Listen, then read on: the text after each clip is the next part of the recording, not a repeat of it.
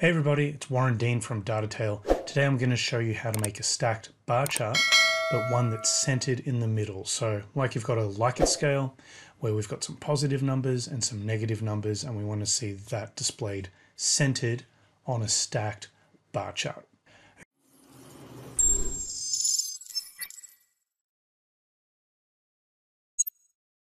Okay, so here's my stacked bar chart. Uh, you can see I've got four regions, north, south, east, and west, and they're all stacked together. But I do have some strongly dissatisfied. If we have a look over here, some strongly dissatisfied, dissatisfied, and neutral. I want these all to show on the negative side and satisfied strongly on the positive side so that my bar chart here is centered and I can clearly see the positive and the negative. So what we're going to do with that is we do want to do this natively within Power BI. So we're not going to use any custom visuals, but we do need to create some measures where we turn the negatives into negatives. So I'm going to take number three, number four, and number five, and just times them by negative one. So when we do this in our chart, if I take these three out, three, four, and five, and if I add three, four, and 5.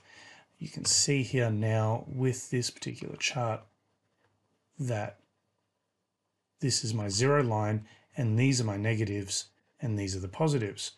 So that's great. I can see that these three are a lot more positive than this one combined.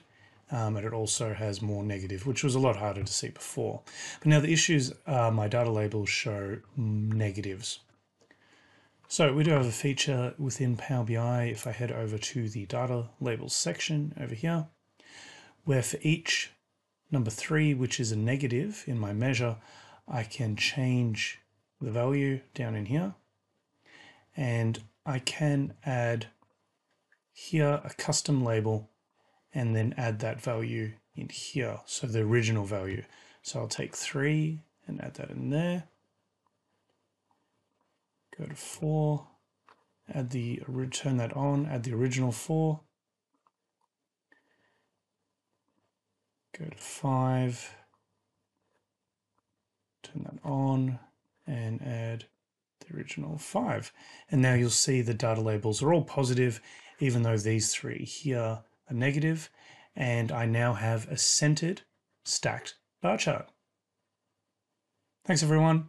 Feel free to give a like and subscribe and make sure you check out some of the other videos over here at DataTale.